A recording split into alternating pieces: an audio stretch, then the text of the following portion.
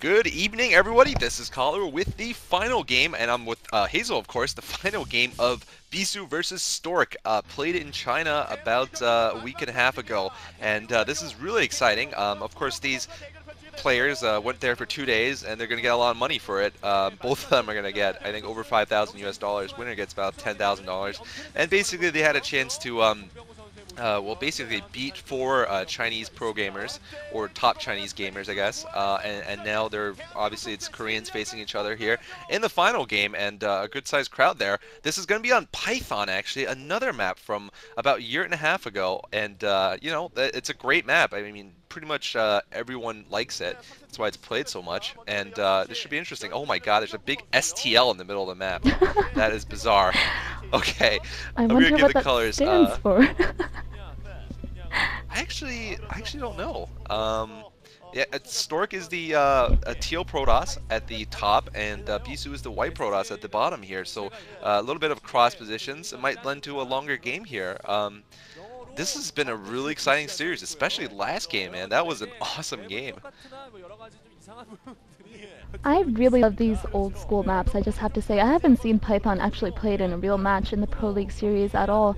And it's just a map that we all know and love. Um, a lot of these older maps just lend to a lot of creativity, I think. I think Monty Hall last game was just so great because these players really haven't been practicing on them so much so that they are Right. they're forced to use somewhat creative builds, do some proxy gating. It's really exciting, I think. Um, it's a lot better than just watching the same old, I don't know, name a map, Neo Requiem or whatever, over and over, or seeing Shin, Shin Chupeng Ryong with the proxy gateways there, which are just so predictable now. I think both players are going for just a scout after a gateway. Um, they're not really expecting anything too cheesy, I think, otherwise they would have sent out a scout even earlier. But Python is a pretty balanced map, I think. It is also a very tried and true map, and both players will be scouting in the wrong direction. One is scouting clockwise and the other counterclockwise, and they will once again have a nice little probe high five. Yay!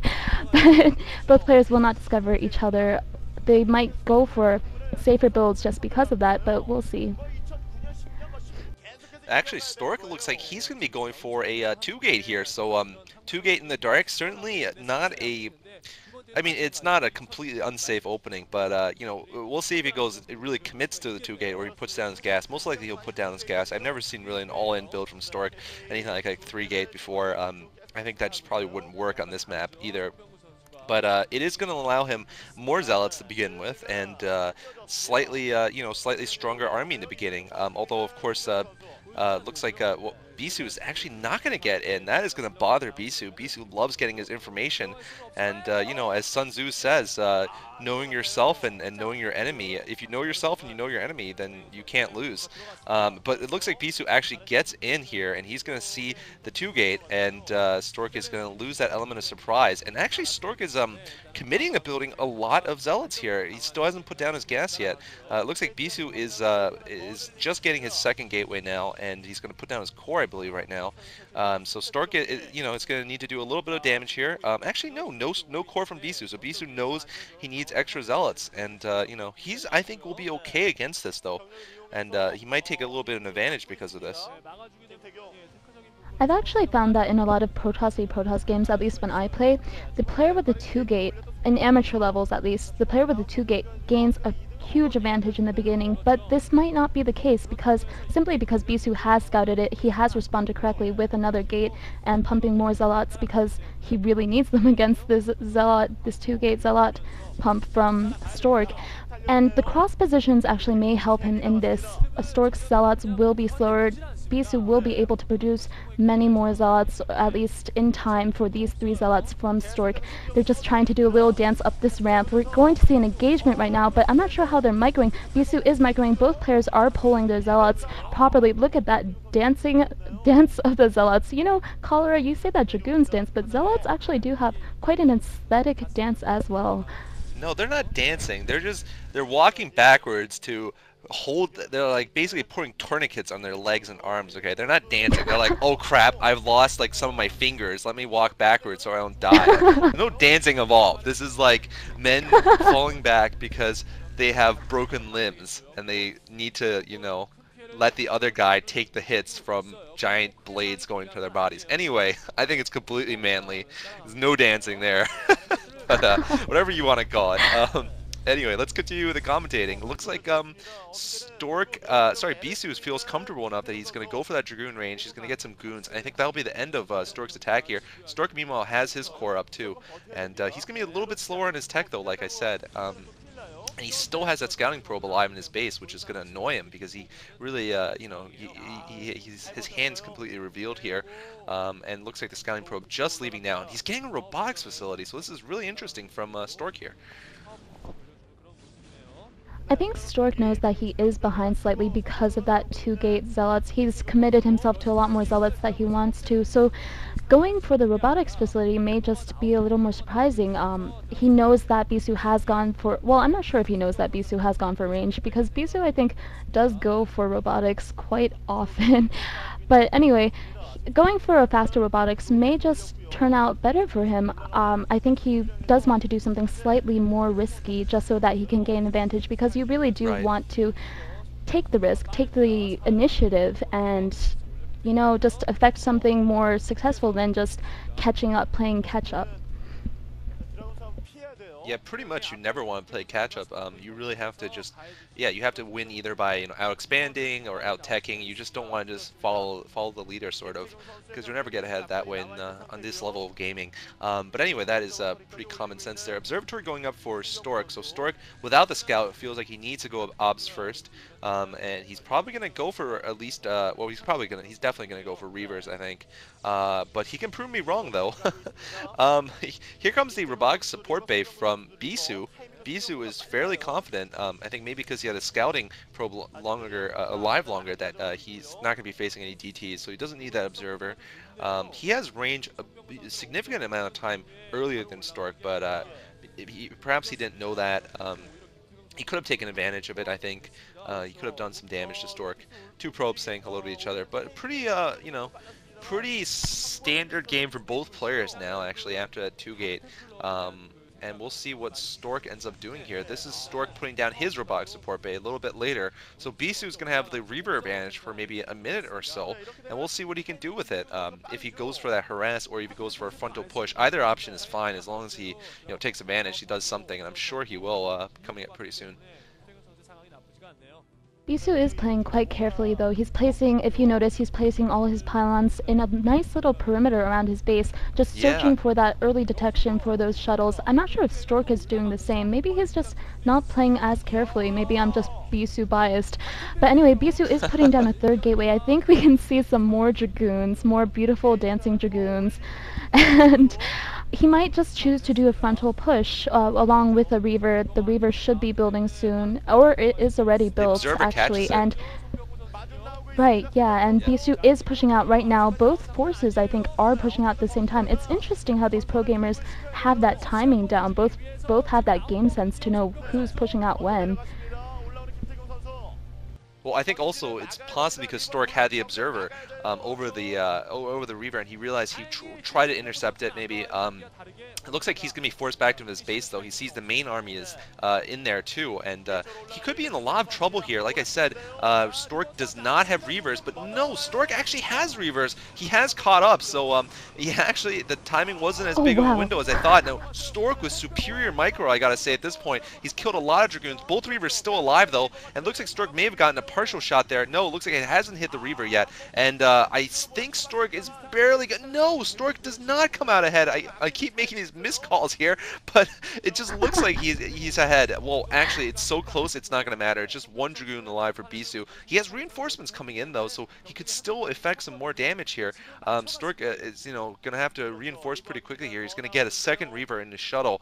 And uh, the problem is, of course, he can't just go out with that shuttle alone. He needs at least uh, a couple of uh, Dragoons to help him out. And uh, meanwhile, Bisu might be going for a probe harass behind his base because he knows he doesn't have uh, a lot of Dragoons in his base, so he won't be in that much danger. He might kill a lot of probes of Storks. We're going to have to see right now. But there are Dragoons ready to intercept, and those Dragoons might take out that... No, they do not take out the shuttle, and that Scarab travels halfway across the base to get no probes, unfortunately. That Scarab was very short-lived. oh well. But Bisu and Stork are approximately, I think, even still. They came out pretty even. They traded armies, essentially, and Stork just was able to hold his ramp. Uh, that's also part of the problem with maps like Python, for it's just so hard to get up there to um, engage with Dragoons against Reavers when you have just that single Reaver holding your ramp. And it looks like Bisu is building a lot of Dragoons. He's just kind of dancing around them in the middle right now, just keeping his fingers, I guess, warm. Um, he may be sending them, he is sending them towards Stork right now, along with another shuttle uh, with two Reavers this time. He may be able to do some more harass or just try to push his way up into the center, or into the front of his base again. Yeah, I mean, uh, it's, you know, very mirror builds here, but actually we have seen um, uh, Bisu expand. In the first game, he managed to do a timing push. Uh, did it perfectly when Stork had expanded and Bisu had not, and that's what gave him the game. But uh, here comes Bisu again with another Reaver Harass. Is he going to drop? He's going to drop both of them there. Looks like he can take down uh, the Dragoon there, and, and no, it looks like the probes run away in time, so uh, he's not going to commit. Um, it's very smart. He does not want to go in very deep with that shuttle. And Bisu, meanwhile, has picked up his expansion, so it's not like the first game on Longinus. Uh, he's getting his expansion not far behind Stork, and Stork again with a shield battery. Game 1, it didn't work out very well for him. Uh, we'll see how it does this time against an attack. He has inferior forces. Bisu going in right now. Uh, Bisu sending that Zealot forward to absorb some hits. Stork definitely has an inferior army, but a better positioning, I feel. And uh, looks like Stork is going to God, it's very close right now. I'm really not going to call it. Stork, I think, is going to come out ahead right now, as long as nothing disastrous occurs. No, Bisu comes out barely ahead, but Stork has the shield battery. Shield battery charges the Reaver. Oh no! Stork loses both of his Reavers, though, with that last parting shot, and he's in huge trouble, and he, Bisu, once again, owns me by playing so damn well. yeah, Bisu has just been doing so well. Every time he engages, he somehow it, it looks so back and forth. You can barely tell who's going to come ahead, but somehow he just I don't know, says some magic words and manages to do it. And right now he has those Reavers hovering around the base. He's, I think, scaring Stork a little. A part of this, um, his advantage right now is the psychological advantage. He's the one doing the Reaver harassing. He's not letting Stork do the harassing. I don't think Stork has had the chance to exit his base yet. And Bisu is just bringing the battle to Stork's front line. He, he's scared into building a shield battery. I know it is careful defensive play, but still, I feel like the more aggressive player will have the advantage. Yeah, I mean, absolutely. And uh, here comes the shuttle here with more Reavers here. Bisu going for the harass once again. He's got to get some probes this time. Oh, another Ooh. dud. And this time, he's going to lose everything. Wow, he lost. I think he lost his uh, one Reaver actually. No, the shuttle survives. Never mind. Uh, shuttle just basically dropped it off, and once again he fails to get any probes though. So, um, you know, he's scaring Stork, but I don't know how much damage he's doing. Uh, although it's got to be a little bit of damage every time because of the pulling and everything. Um, by the way, there's a great interview with both of these players who met for the first time outside of playing StarCraft just uh, like a week or two ago. I think the interview was on Team Liquid and SCForAll.com, but um, basically they haven't met each other and they just met each other in front of this mall in Seoul or something and they had this nice little talk with one another.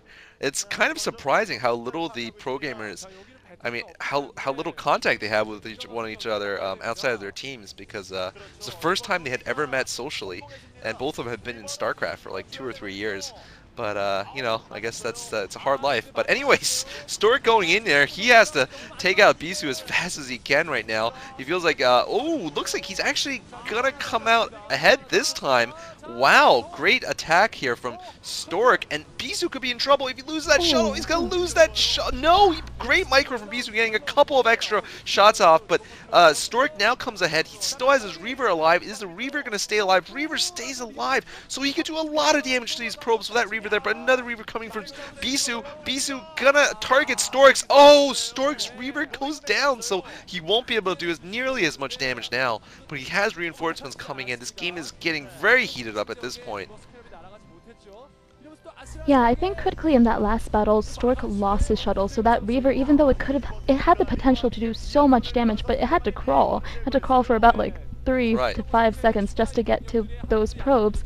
So Stork, I, it, the game is still pretty even, I think. I, it's been really back and forth, first at Stork's base and now at Bisu's expansion. And Bisu, I think, did a pretty I mean, both players are doing pretty cool micro tricks. Both players did build that pylon out in front so that the Scarab wouldn't be able to get past. I don't know how they Oh, do yeah. it. I guess their 400 APM just lets them do that. Yeah, I mean, absolutely, and we're going to see a, um, you know transfer to late game tech here, at least from uh, Bisu. He's going to get his Citadel, and so is Stork. So uh, both of them are probably going to th start thinking about getting some High Templar and uh, some Speed Lots, and uh, maybe another base coming up pretty soon. Um, but of course, uh, in a mirror matchup, it, it really is about timing, and you have to be very careful. Uh, you know, Bisu cannot overexpand, neither can Stork. Stork has a slightly earlier expansion that could have accounted for uh, the slight unit advantage he had in the last battle, but looks like um, Stork pulling back to kill on Obs, and uh, Bisu now pushing forward, and he has speed, I believe, for that shuttle there. So yeah, speed upgraded shuttle there. Um, yeah, it's gonna be interesting here. Uh, right now, they're calling this the uh, the Taebong era. Uh, Kim Tae uh, Kim Tae Young, I believe. Yeah, Kim Tae Young is the name of uh, Bisu, and Stork's nickname is Bong. So basically, they're saying it's like the Bisu Stork era because these two players are on top of the world right now, and uh, you know both of them have similar careers. By the way, uh, they had uh, they were they were very good over a year ago, and then they had brief slumps, and now they're back. But anyway, here comes another harass from uh, B-Suit, the B-Suit, but he once again does not get any probes. Um, sending a Zealot there, actually, interesting enough. I guess he realized there was too many forces there for him to do anything. Both players are going to get mined out in their mains. Speed upgrade probably going out for both players' Zealots. So um, I think the game is just too hot right now for either of them to expand. Uh, you know, I think whoever takes expansion is going to be in a little trouble uh, because the other player is going to counterattack really quickly. Stork does look like he has an amazing Dragoon advantage right now, and Yeah. Bisu might be in trouble. He's going to lose this Reaver. Where was that shuttle, really? And those Dragoons will have to retreat all the way back to Bisu's base before some Zealots, some hero Zealots. No, the Zealots are going to turn tail and run with those Dragoons. I'm No, sorry. they're not Reaver Zealots. they're Bisu Zealots, man. I mean, Bisu Zealots are no man lots, okay? Uh, they they have nice I- hair. That's what I'll give them. But uh, anyway. Nice hair and nice eyes and nice micro, I have to say. But it looks like I think Stork may be looking for expansion in the top left. This may be a mistake. I don't know how much he does have a great Dragoon advantage right now, but if he does take an expansion, Bisu can push um, his uh, another advantage, a military advantage. But both armies are trying to engage right now, and those zealots are just ganging up on that dragoon, and so many dragoons are dying. Those reavers aren't exactly. I'm not even sure what's happening right now.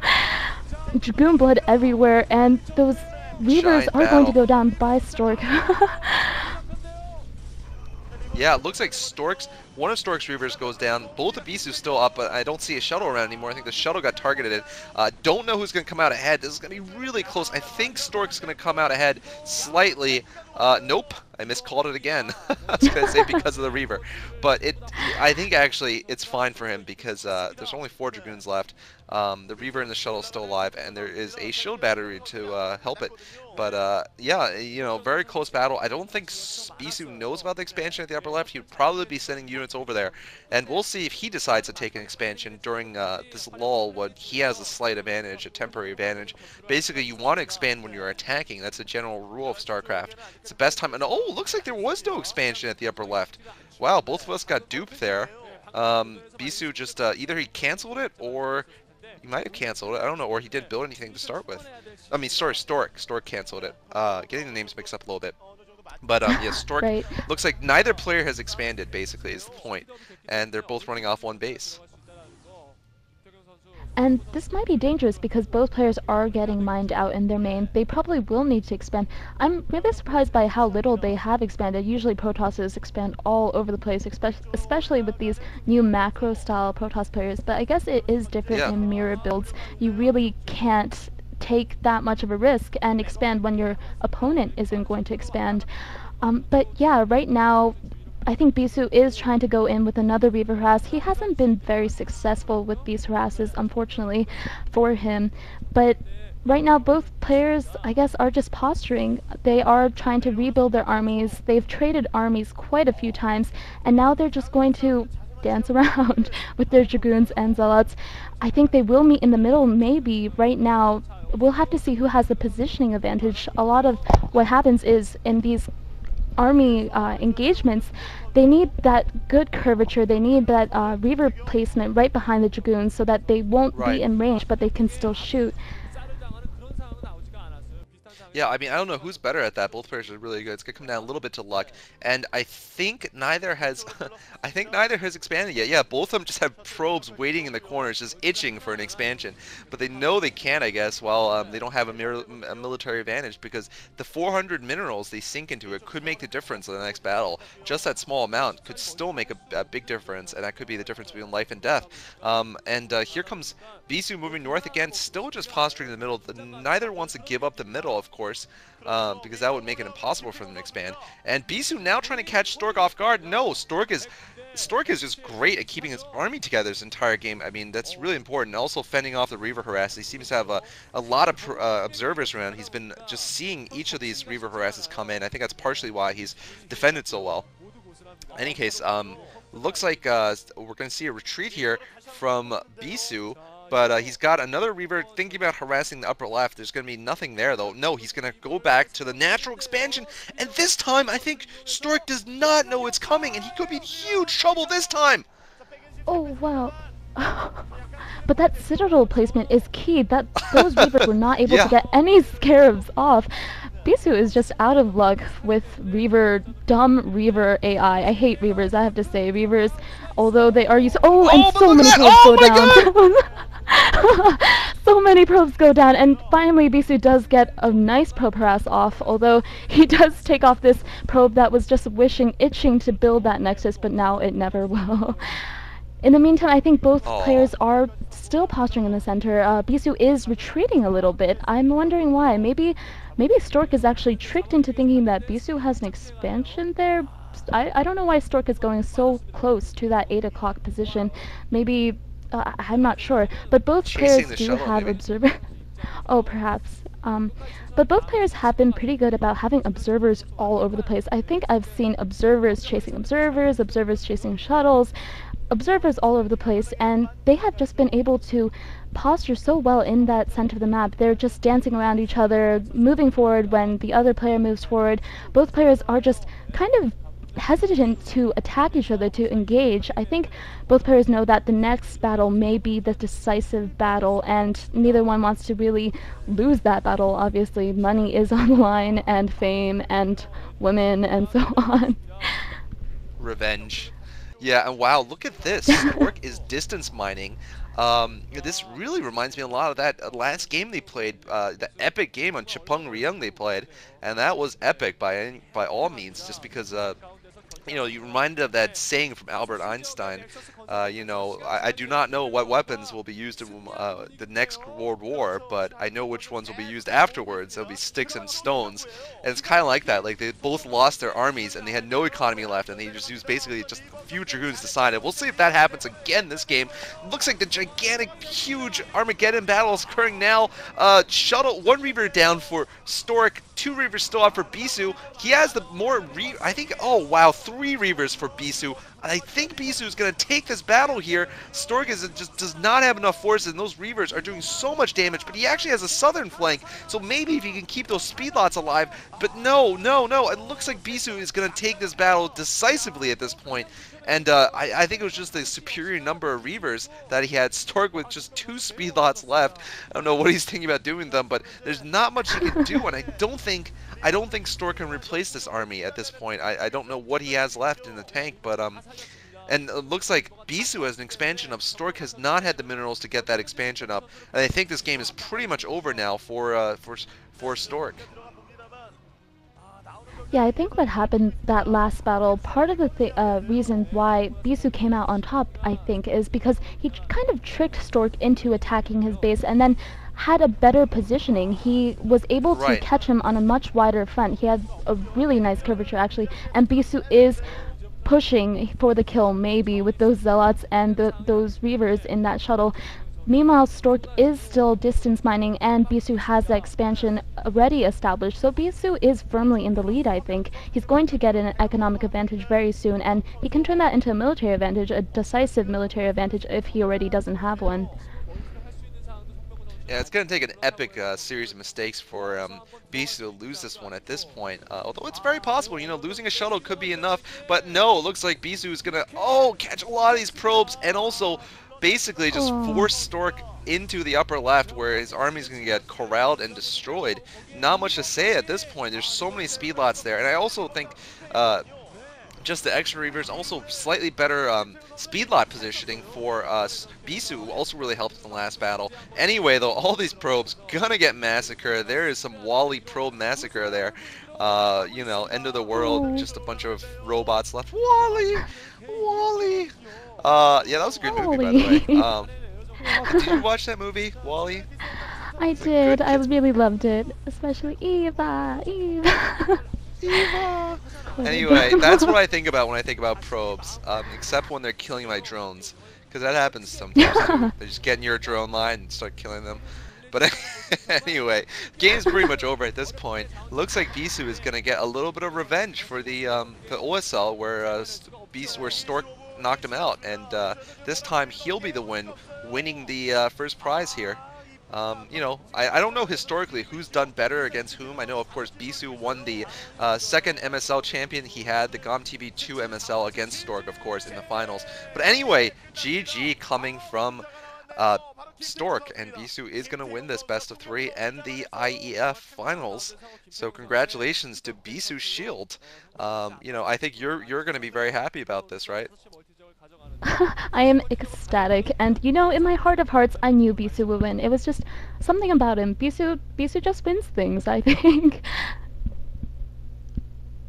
Well, he does do that recently. I mean, right now he is arguably the best player in StarCraft right now, and uh, you know, there's not much, um, you know, in the rest of the programming world to really uh, to shake him that much. You know, Jaedong and Flash are in little mini slumps, and Stork has been a little bit, uh, you know, away from keyboard, I guess, since the uh, since this OSL final. So, you know, arguably your man Bisu is the best player right now. Uh, of course, I have many things to say about his his hairstyle and his lack of manliness, but I think I'll save them for a commentary where you're not around to uh, dispute me on them, right? All right, thanks for that consideration. All right, guys. So, by the way, do check out Hazelnut, um, Hazley Nut, or just Hazel, I guess. Uh, her her YouTube screen name is Hazel Y Nut. So Hazley Nut, and I have a promotion video, so you can find the link there too. Um, she has really just taken off. It's a meteoric launch. Um, I think she's gone from five viewers to over 500 subscribers in 24 hours or something, two days, pretty much, right? Right, something around that. I think I might be over the 500 mark. Yay! and hopefully I'll just continue to get viewership. Um, I'm really, I really appreciate everyone's viewership, especially all the comments people have been leaving because they really do Yeah. help. You never really realize what kind of speaking habits you have, like ums all the time and so on. Yeah, I think you've been doing great with uh, improving just through these uh, dual commentaries. I've noticed you've really cut down on the ums, and uh, I, I think, I mean, I do it all the time, to be honest. I do uhs and and random things. Sometimes I just make little sounds, but uh, you know, it's it's part of commentating. Don't don't let the haters drag you down either. Although I'm sure there's not many because you're doing a, a great job. Anyway, um, thank you for coming along with this duel. Thank you, uh, audience, for listening, and uh, have a good evening.